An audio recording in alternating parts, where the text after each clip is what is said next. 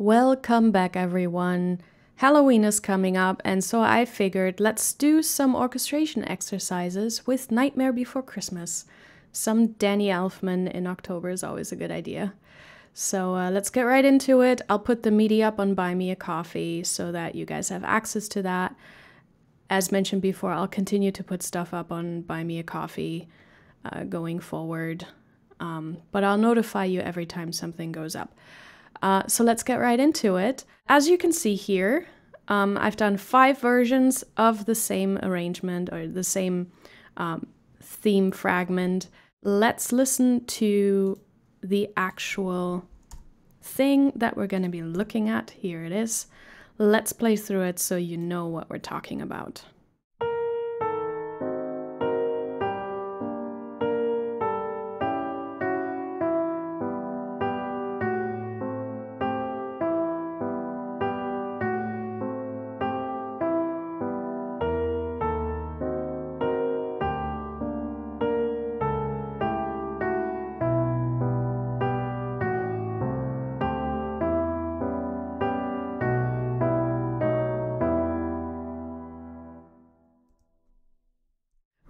That's the theme. And for the purpose of this exercise, I did not change the tempo in any of these. I did not change the harmonies. I did not change the melody. Everything is derived from the exact same um, material, this piano draft. Normally, when you would adapt something like this to a scene, obviously you would change a lot of things. But um, this time, I really just want to focus on not the composition, but really just the orchestration. So let's get into it. So, the way that I went about all of these is first I decided who's going to play the melody, right? And what is the kind of end goal that I want to achieve. Because whoever you choose to play the melody, that is going to determine a lot of other things, right? Because orchestration, in a sense, is problem solving. The moment you make one choice, that's going to create problems for other instruments and for the arrangement. And then you have to make follow up choices to solve those problems that come from your first choice. It's like a domino effect, basically. So, the first version that I wanted to do was a really nice, lush version with full orchestra, everyone playing full blast. And the way to get this lyrical, old fashioned, lush sound is by putting the melody into octaves in the high strings um, and basically double it up endlessly. So that's the first thing I did.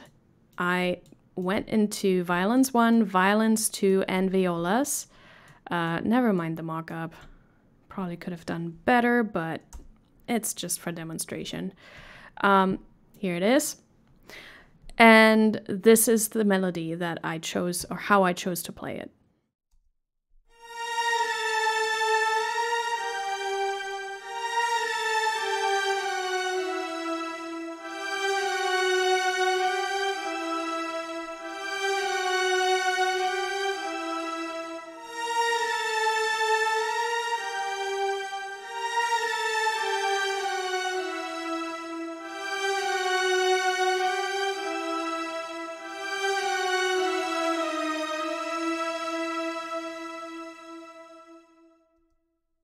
We go.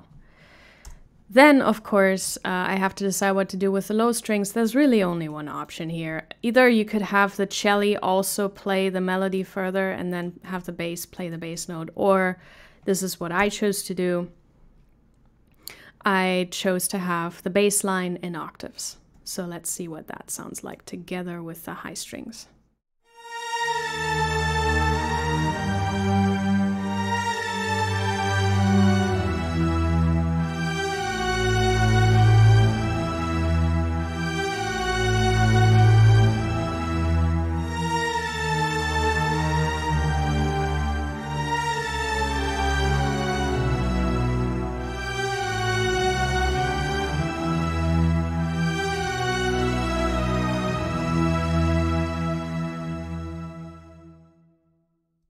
Now, this is a good foundation for what we're about to do because we basically have the orchestra spread out into every octave of the string section. So that's a good foundation to get this lush sound because you want to spread apart the orchestra as much as you can. And the strings kind of have the biggest range to begin with. So you want to spread those out as much as you can. Now, what is the issue that arises? Well, we have no harmonies. The entire string section is now taken up with the melody and the bass line. So, if I only had strings and woodwinds, I would now have to have the woodwinds fill in the harmonies. Um, but since I want the full orchestra, I chose to have the brass fill in the harmonies because the brass is also a little more present than the woodwinds to begin with. And if everybody's playing, the woodwinds probably wouldn't cut through enough anyway. So um, I chose the brass for the harmonies, and I chose to have the woodwinds instead double the strings, which is a very common technique. But I did a little something here. Um, I did that after the fact, actually. At first, I only doubled it exactly with the strings. But so then I thought it was a little bit boring. And so I, every time there was a longer sustain that lasted a whole bar, I would break it up into an arpeggio to get some more life into it, some more movement, but also, you know, little flourishes and a couple more harmonies. Um, but so this is what that sounds like.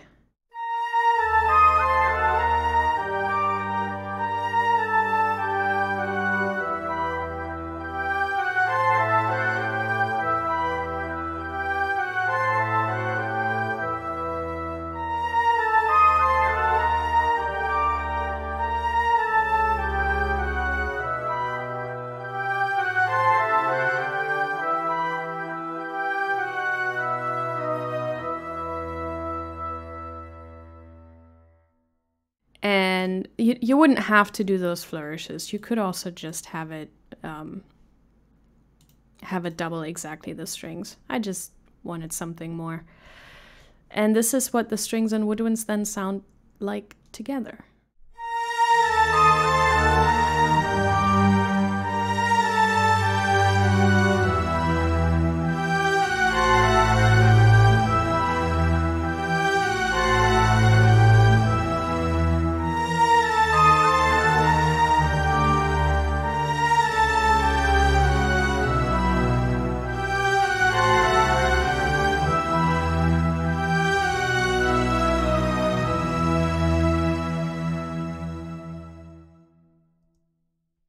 Right? Some of the harmonies are now there, but it's it's not nearly enough. So next thing I did, obviously brass. Um, the first thing I did is the horns because the horns really important now have to fill in the harmonies. You could also do horns and trombones. It's very common to have them interlock and play the harmonies together. I was just too lazy to mock that up. but here we go.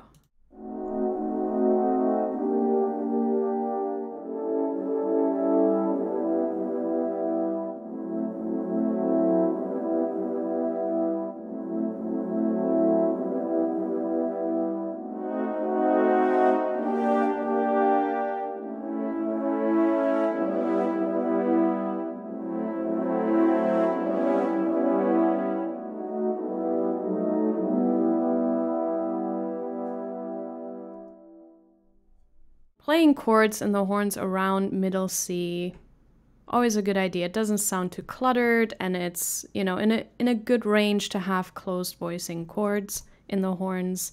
And then I have the low brass, um, just play the bass line.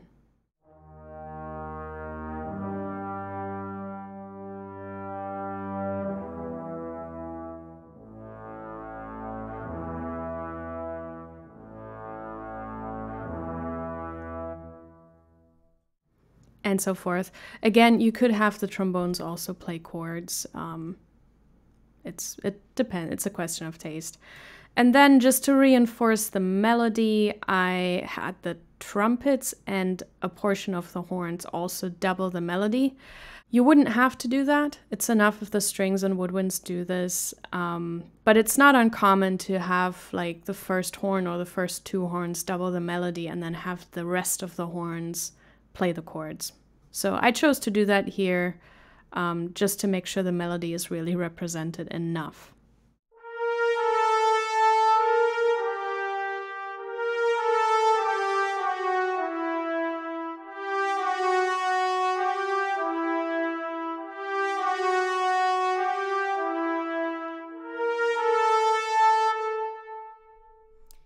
and so forth. And so together, the woodwinds, brass, and strings sound like this.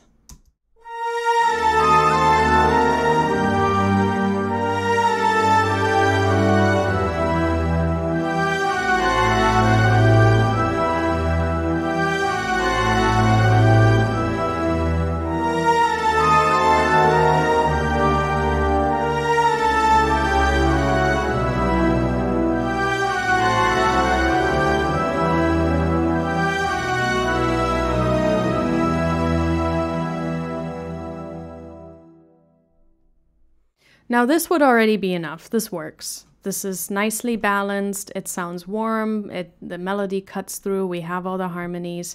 So this works perfectly. Um, we wouldn't have to add anything else to this, but me being me, um, I also added a little bit of choir. Because um, something that I'm missing here a little bit is feeling that 3 4 feel. And so um, I added a bunch of things to this. So, first, the choir.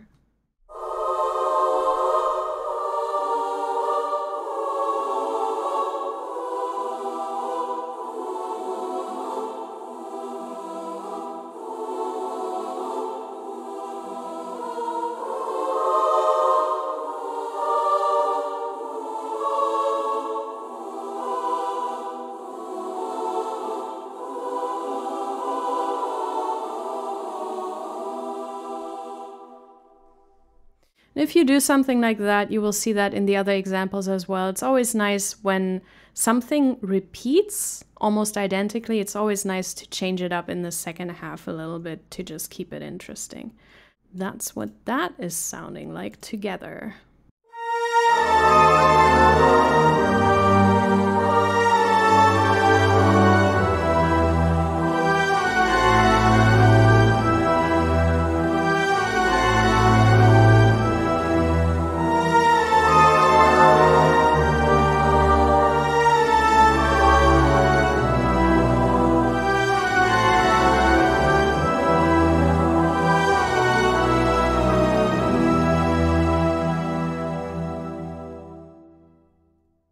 Right, it adds a little bit of drama.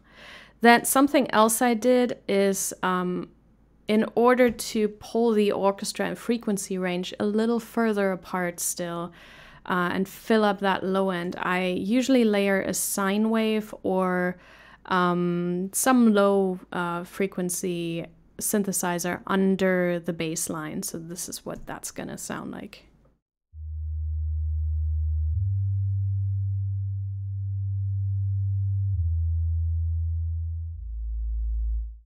It's very subtle, but it adds some, it, it opens it up a little further. And then um, I added percussion. As usual, I add percussion and keys and all that stuff last. So the first thing I added was um, the piano. I actually wanted to just double that. Another thing I added is this harp.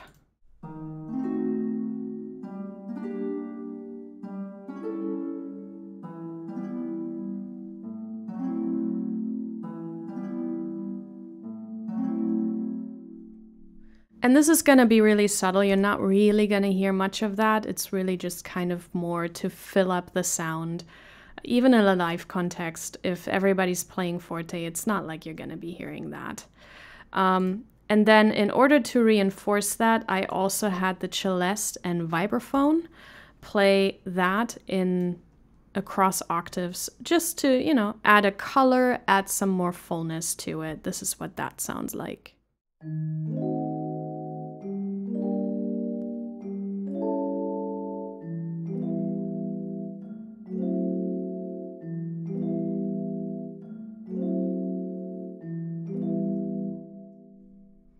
And so forth. This goes together with the harp, of course. And then the rest is really just I added timpani um, to the bass line.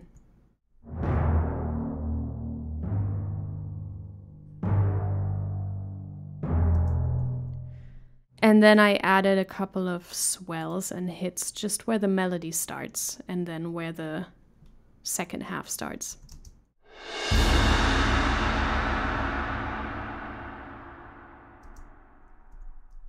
So that's it. That's all of it. I did not add a ton of percussion because it doesn't really go with this piece, at least not in this arrangement. So this is what the whole thing sounds like.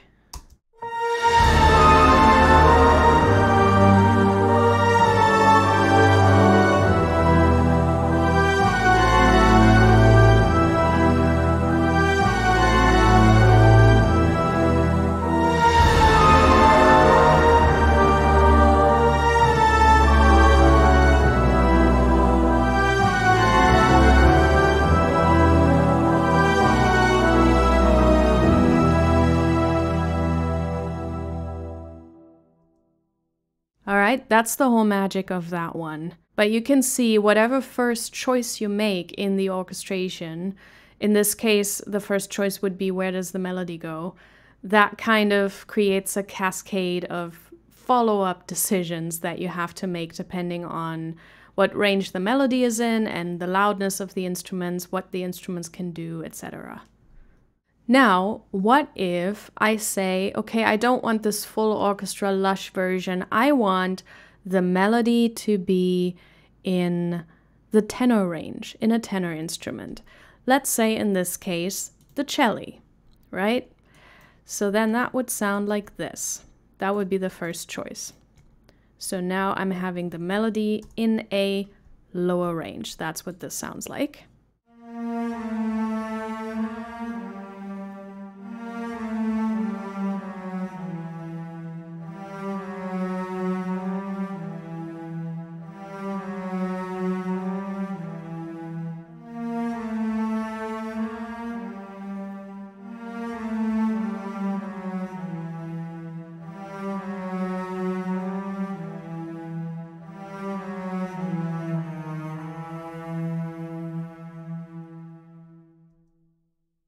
Now let's think about what problems arise from doing that. First of all, if you have too much bass in there, that's going to get in the way, right? The second thing is a tenor melody cutting through is much harder than a soprano melody cutting through. So everyone else now needs to get out of the way of that cello and out of that tenor range to really make room for that melody to breathe it's kind of almost like EQing. Like orchestration is a little bit like mixing in a way, where you have to think about okay, in what frequency range does this sit? And how do I get everything else out of the way to make room for this frequency range so that it can actually breathe and be heard? So, the first thing I decided was to not have an arco bass, but to have a pizzicato bass to go with the cello because that would mean that we have a lot of breathing room down there in the low frequencies, right? It makes a lot more room for the cello to come out. So that's what this is going to sound like.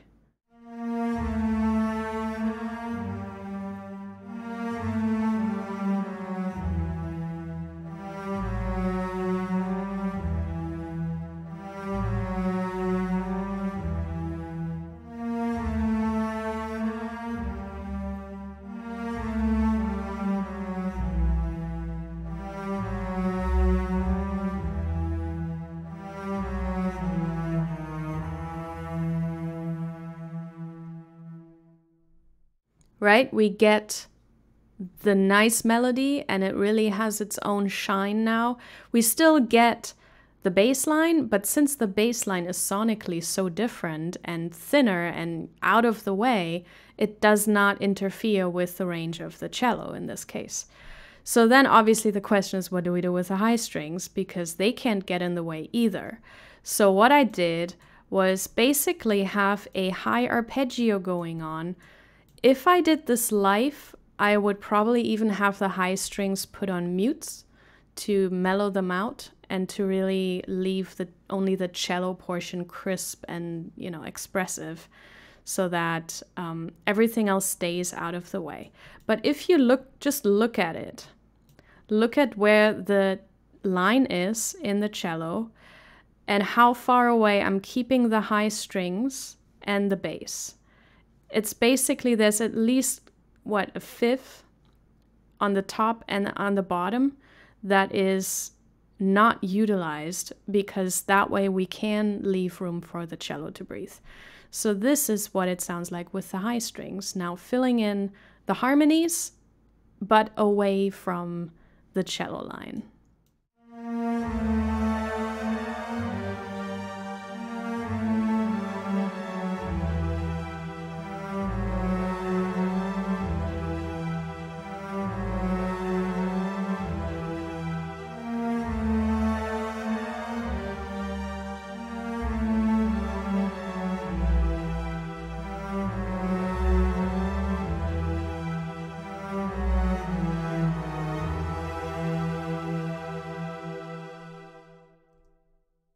Right? So that works.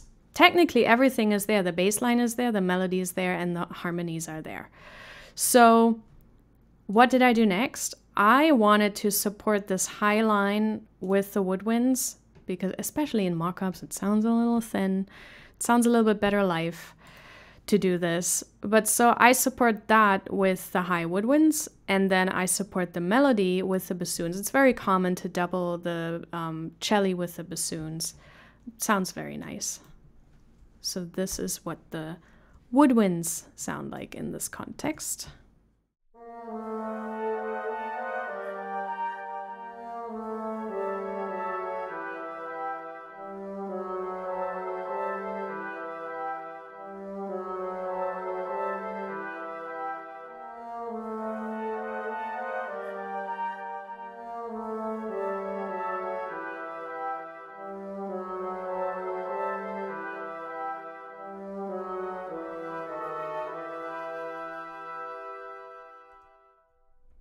And then together with the strings, it sounds like this.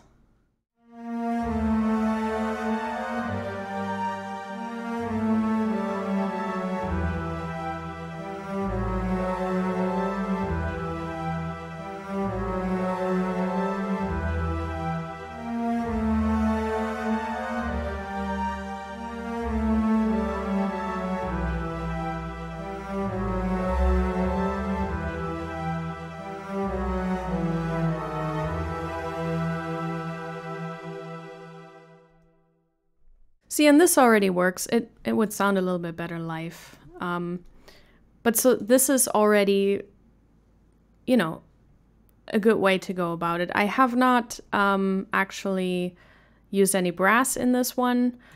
You could, I guess, you could double the melody. You couldn't really double that string arpeggio with anything. I just didn't feel the need because this is such a delicate arrangement to begin with. So I feel like brass has no business being here. Um, but so the next thing I did is I actually used uh, the same harp line as before, this one.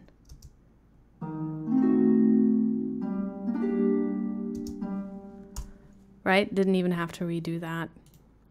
And then in the rest of the percussion, I also reused that, but I doubled the high strings, the arpeggio in the celeste, because especially in something that is delicate and magical like this one, um, that always kind of works really well. It sounds like this.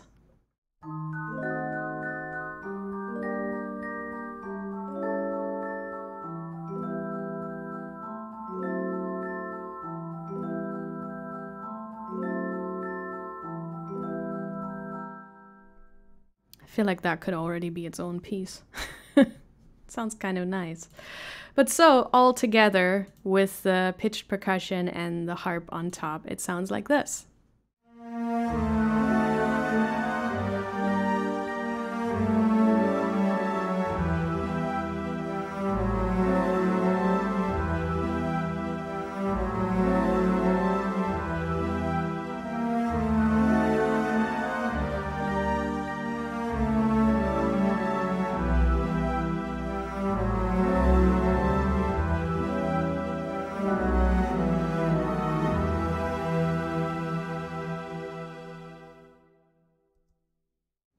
There we go. That's the whole magic. Stay out of the way if you're gonna put the melody into the tenor range. Everyone else needs to do something else, hopefully a little further away from that melody. Don't clog it up because, especially in that frequency range, you don't want stuff to be too close together to begin with, but especially not if the melody is there. Don't clog it up there. You gotta leave room in your arrangement for it. Then we have our next scenario. The next scenario, uh, problem child woodwinds. Um, I thought, okay, what if I have the melody in the flute, right? Not a particularly loud instrument, so what do we do to stay under that? Also, this version is a little Christmassy, but whatever. It's Nightmare Before Christmas. Also, I was working on the Claus family when I did this, so I had the sleigh bells locked and loaded. But so this is what it sounds like um, with the flute melody.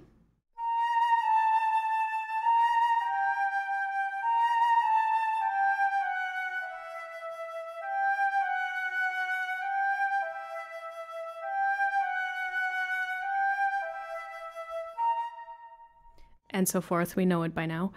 Um, really good range for the flute. Like this is actually a pretty perfect range. Um, and then in the second half, I decided to double it up with oboe just to add an extra color. Like I said before, I like to switch things up a little bit um, in the second half. Also, doubling flute with oboe usually gives it a little bit more presence.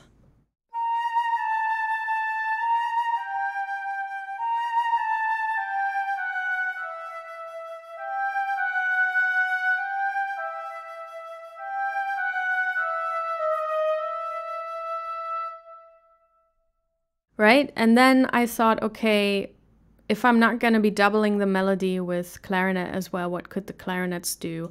And so I decided to kind of have an arpeggio going on that kind of answers the melody to give them something to do and to add a little bit more color and movement into the arrangement. So that's what this sounds like.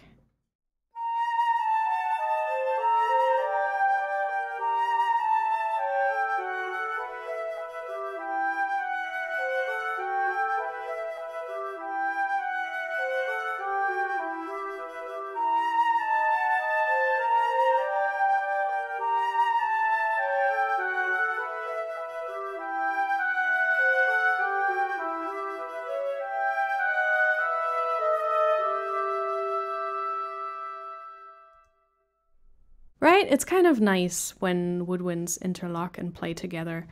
Um, you say I think that? It's a question of taste. You wouldn't have to do that. It's more of a N was feeling this. So there we go. Um, then I decided, you know, with the woodwinds, the problem now is everybody else needs to get out of the way. So no brass.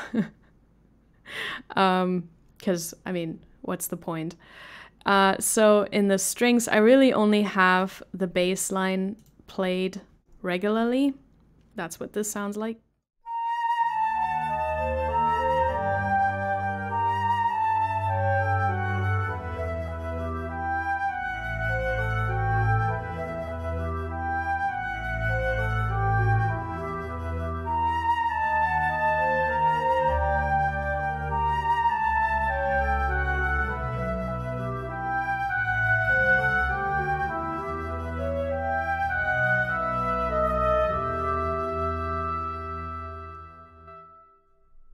And then I decided um, to have the rest of the strings just play chord sustains, play them tremolo. And normally, if this were going to an orchestra, I would decide to have them play, have the entire string section play sordino and piano or pianissimo. So this is really just to kind of create a texture under the woodwinds without covering them up too much.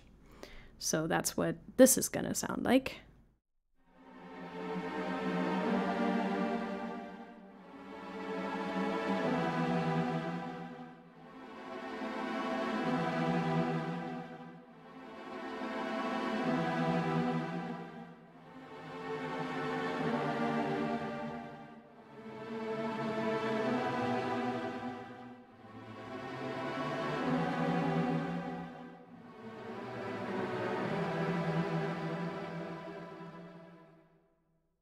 Could also have these play arco instead of tremolo. That would be fine too. Um, I just wanted a different articulation to try out. But so this stays pretty well out of the way of um, the woodwinds, especially because the arrangement also sits under the woodwinds. Let me actually mark these all down and listen to them in context. Here we go. See, everything else, the strings sit under the woodwinds and only mildly overlap with that arpeggio in the clarinets, so that really we get to hear the woodwinds on the top.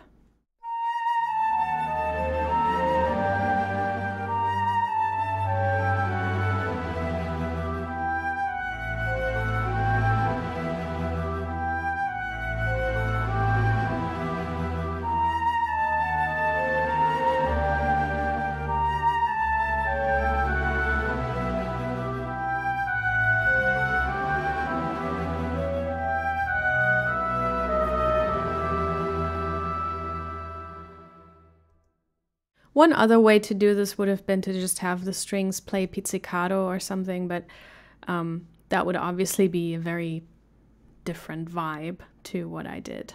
And then, like I said, I went Christmas on this one.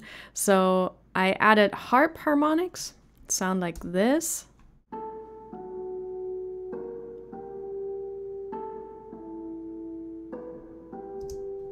It's just kind of a color.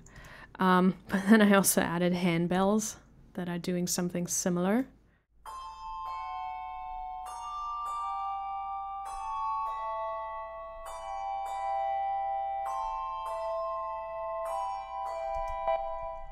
Right? It's getting very Christmassy. And then I, I just couldn't resist. I added Glockenspiel, which the CinePerc Glockenspiel is not great have to find another one. I don't know what they recorded there. It sounds like a toy glockenspiel. like the one you would buy for kids for $10. Anyway, it doesn't matter. Uh, I'll, I'll find a different one.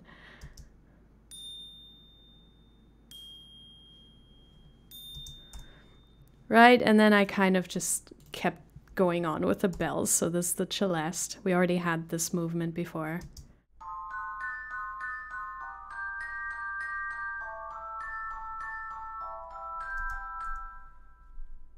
And then um, triangles, tambourines, and sleigh bells doing this.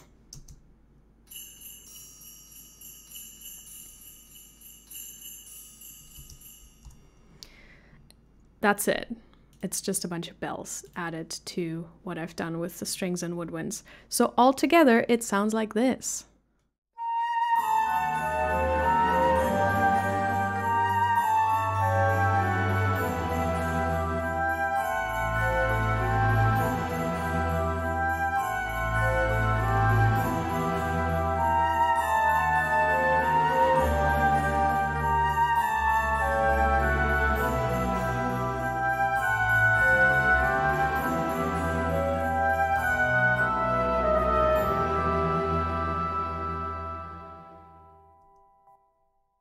Right? Very Christmassy. But hey, I just went for it. Um, those are decisions you probably should make beforehand. Um, it's just since this is not for a specific movie, I just went with whatever I felt like. So that was that. Now I was like, well, okay, we we now have a bunch of um, lush versions. What if I did an action version of this very same thing? Um, first thing you have to decide for again is um, where does the melody go? So I figured I've neglected the horns a little bit, and epic horns in an action cue always kind of works. So that's where I put the melody.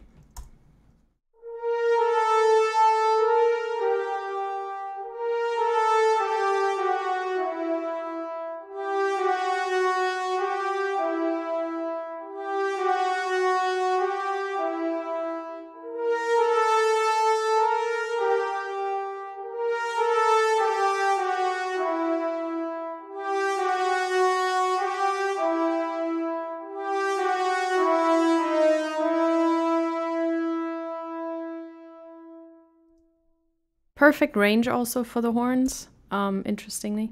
And then I at first I did not do anything else with the brass. So the first thing I ended up doing was uh, do the strings to the horns. Um, because now naturally the strings kind of have to if it's an action cue there has to be movement so the first thing i did was uh, add the bass line but this time in a kind of rhythmic way. And these little triplet things are really the only thing i added composition wise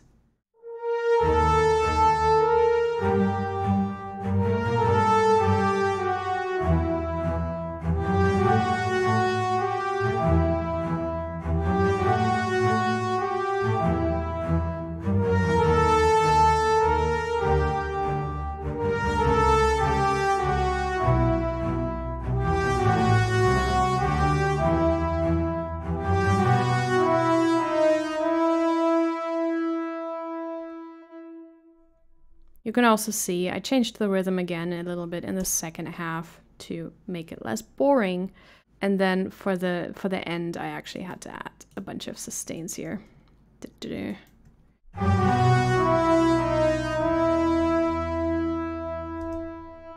There you go. So that's the low strings and the horns. So now I wanted um, ostinatos and arpeggios in the high strings. So, what I ended up doing is how do I explain this best? I basically make the horn line visible. So, I take the horn line and I take the bass line, and then I'm like, okay, this looks pretty good. There's a lot of room. Um, but so now I want to make sure that all the arpeggios I do uh, don't interfere with the horn line too much. So this is violin, the violin one arpeggio. You can see it's on top of the horn line. It never crosses the horn line and it never doubles the horn line. Um, and then I have the second violins. At first they double the first violins and then they split out um, here. But even the second violins only rarely cross into the horn line. And if they do, it's only into the melody. Um, so they would only be reinforcing the melody. And then the violas, I have under the horn, and it also, I don't think at any given point does it cross the horn line. So we're basically leaving everything again spread out either on top of the melody or below the melody. Now, this one needs less space than the tenor melody because um, in this range, melodies tend to cut through better, and also the horns cut through anyway. So it's a little less important um, if there are crossovers or there's not, you know, a ton of space. But I still like to construct my pieces in a way that um, there is enough space.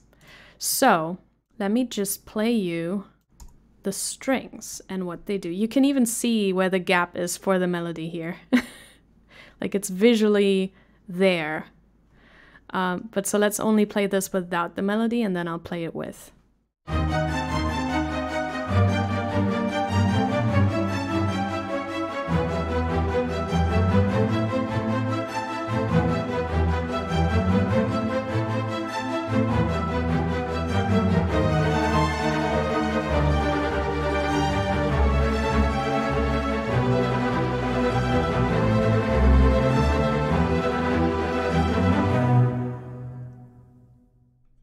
So that adds a nice level of movement here. You can see again, second half, I changed it up a little bit because I wanted more energy here.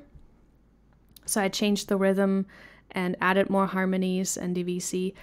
Um, the one thing I did notice here is that it gets a little dense, and so I was worried that we're not going to be hearing the melody 100%. And so what I ended up doing is I took the violas, which is common, you can divisi the violas or celli, depending on where the melody sits, and double the horns a little bit. So I just did that to reinforce the horns in the second half because I kind of felt like, you know, this might get a little too cluttered for the horns to still be cutting through properly. So this is the strings and the horns together.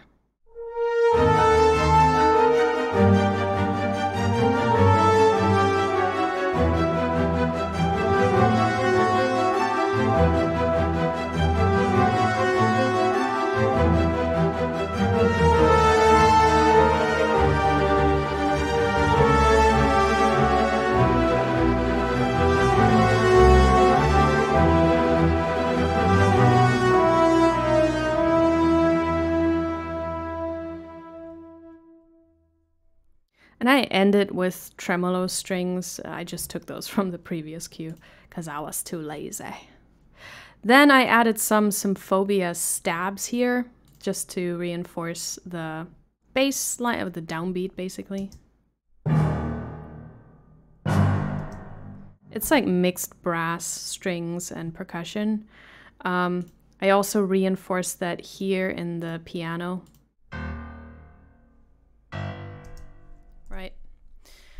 Uh, so we got that. Then I went back into the brass and also added those stabs in the low brass.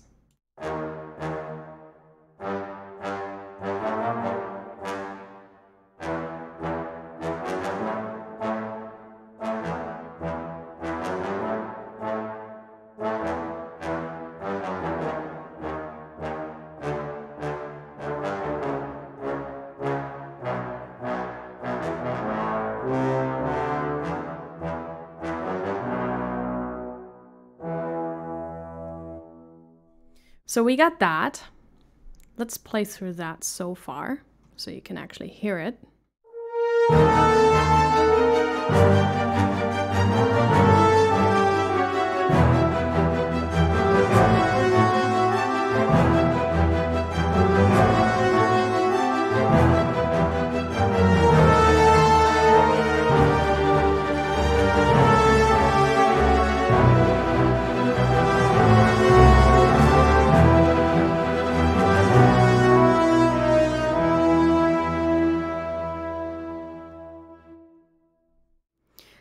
Is usually where you can hear it come together. We haven't even added percussion yet, which is done on purpose because, um, especially in action cues, I want to make sure they work without percussion first.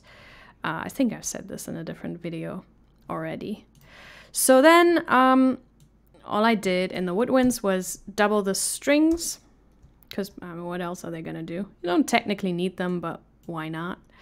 Um, so there's that. Listen to it.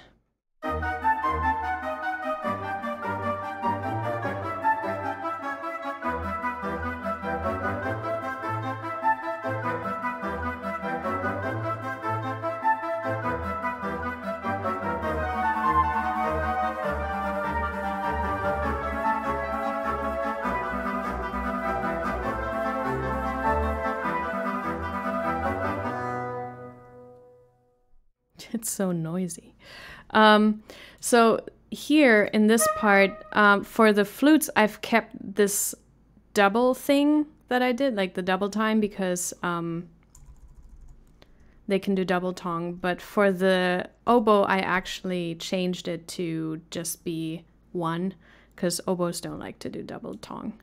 It doesn't really matter in the mock-up, but if it goes to a live orchestra, I would probably not have them do that. Um, so let's listen to that together.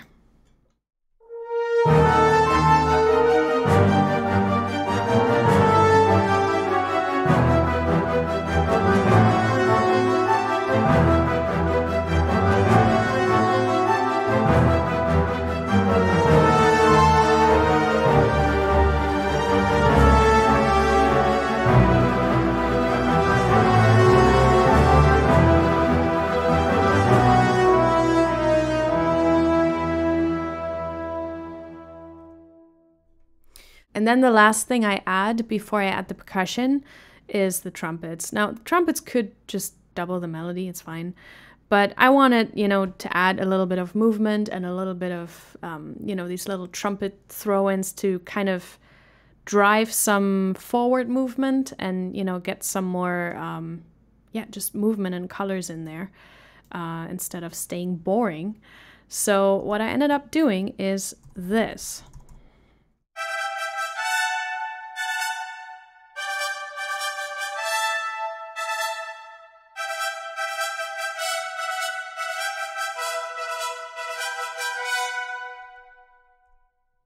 It makes more sense in context. This is what it sounds like altogether.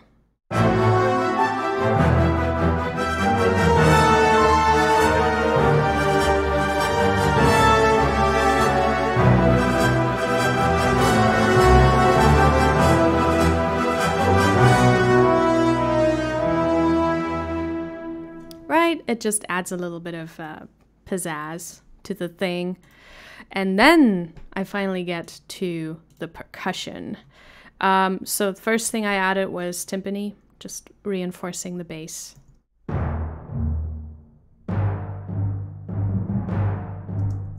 Right? Nothing special about that.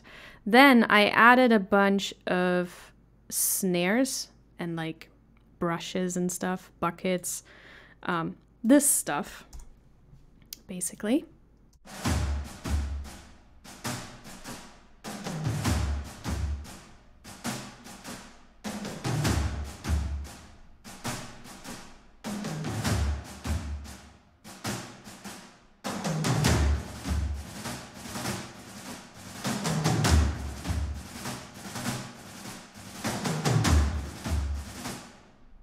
And so forth. A bunch of toms are in there. And then I actually loaded um, some extra toms from LA Modern Percussion right here to double up those toms.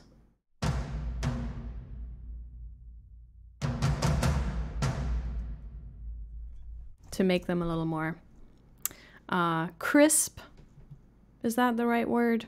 I don't know. They just cut through a little bit better. I generally find the LA Modern Percussion cuts through a little bit better than Armageddon Ensemble Damage. But hey, you know, we all mix and match.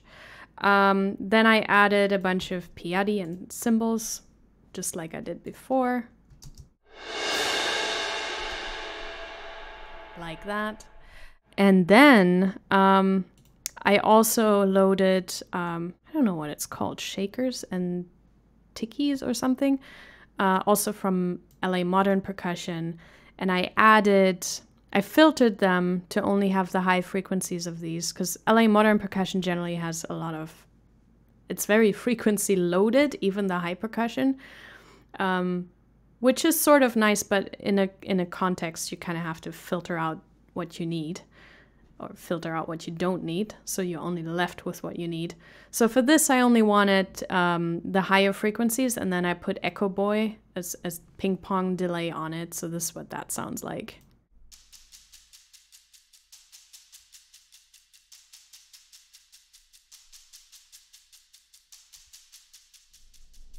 Right, just adding a little bit of movement to it. So the whole percussion sounds like this.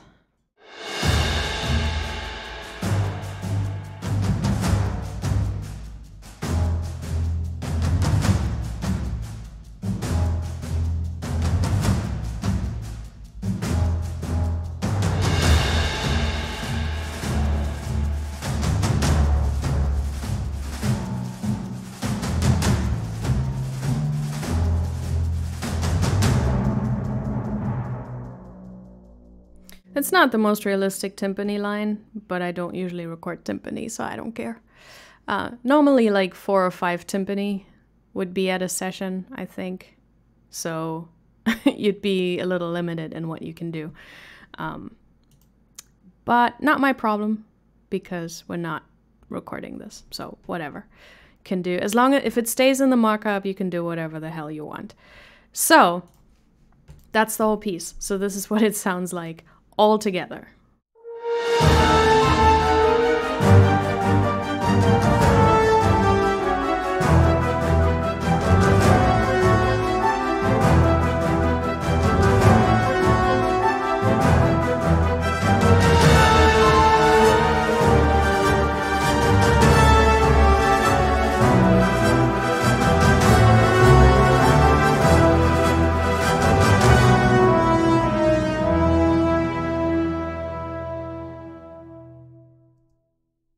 kind of works. I think I, I might like this the most. I don't know. And then we come to uh, the last one, which I don't think it works as well as I thought it would work, to be honest. But I still want to showcase it because you can still learn from a not so great example. Um, I think had I done this in a in a different key, it might have worked. I think it's too low for the choir because the melody is really an alto melody and I think it would have worked better in a soprano. But for that, I would have had to transpose the piece. But I kind of only noticed that later on. But as I wanted to do a choir and pipe organ version, and it just kind of didn't work. that, that's the that's the honest uh, truth here. It did not turn out the way it was in my head. But so I recorded myself singing a little bit and also having MIDI vocals here. Um, so yeah, let, let's listen to the vocals first so you can see what the initial idea was that then did not work out.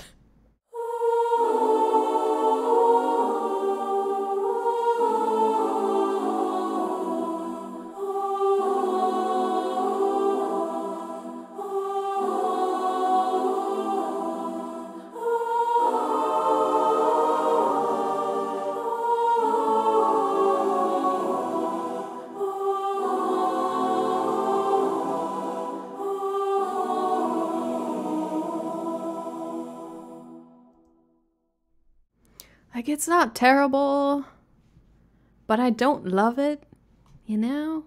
I don't know. Maybe with the real choir it would have worked. Yeah, I don't know.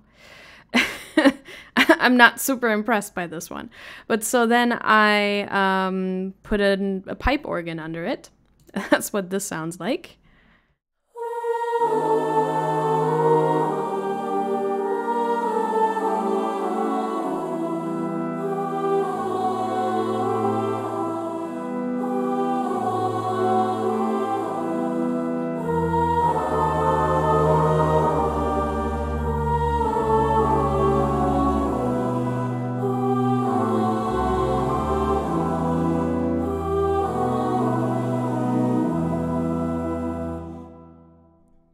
This was supposed to be the ultimate Halloween version, and it just isn't.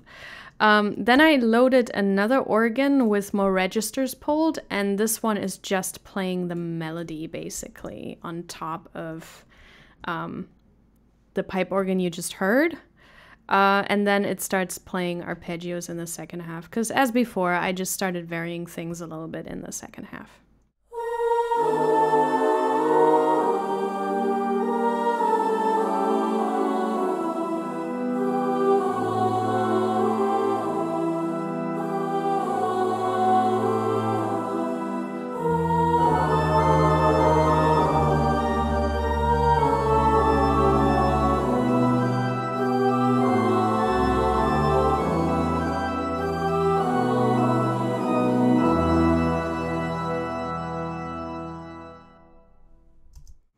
Guess it's fine. I'm liking it more than I did when I made it, but I'm still not loving it.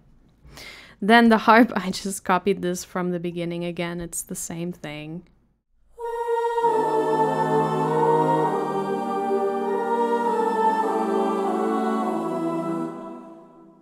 Right? So then I then I started adding strings, and I think this is also where things went south. Um, so the first thing I started adding was harmonics because I figured, you know, that would be kind of cool with a pipe organ to have harmonics on top. And it kind of works, but it also kind of doesn't. Um, let's listen to it.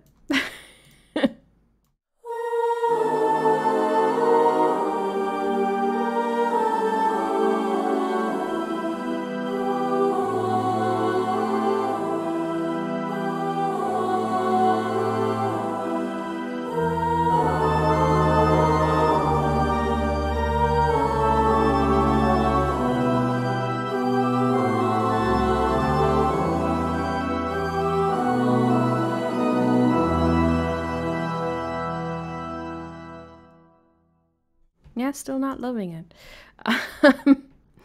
and then I um, added the rest of the strings. And so what they're doing is um, the bass is playing the bass line, the celli are playing these arpeggios, and then later I, um, in the second half, I have the, I think violins double the melody as well, and then the cello goes into octaves with the bass.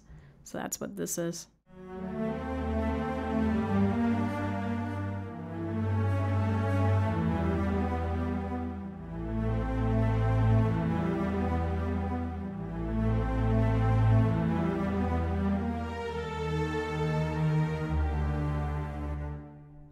And so forth.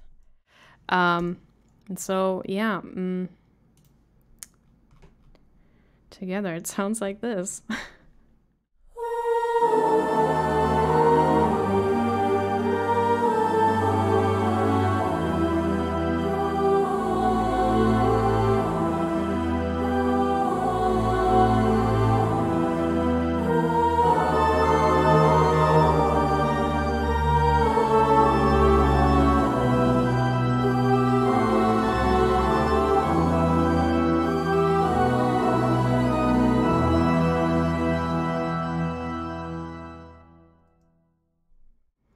don't love it.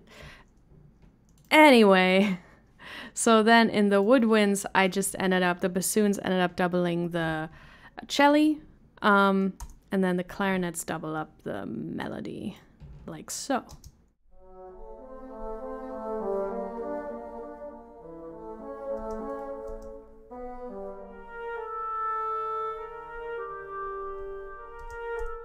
I think I also I kept doubling the melody because I just didn't feel like it was coming out enough because it's in the alto range.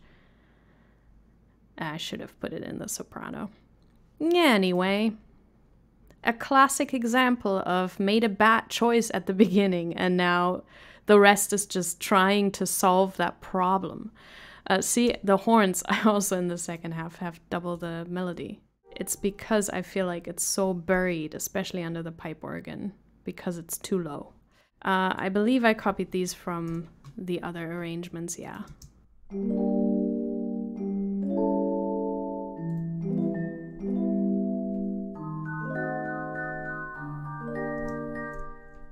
Yeah. And then in this one I added tubular bells as well. Tubular? Tubular? Tu bells. Cause I wanted that Halloween feel. And it just kind of didn't work out. But so, this is what the whole thing sounds like. It's okay, it's not great.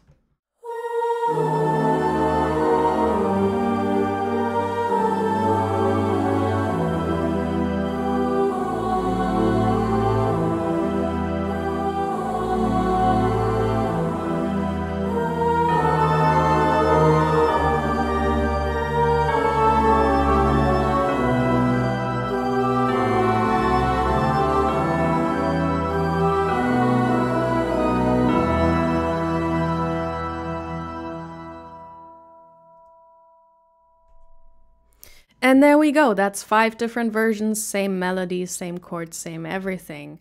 I think some of these turn out better than others. Um, again, the MIDI is going to be up on Buy Me a Coffee. And, you know, don't think these are the only ways to do this. I mean, there's like three million other ways that you could have orchestrated this. And the moment we went venture outside of um, orchestra instruments, there's another three million ways of doing it. So this is just five random examples.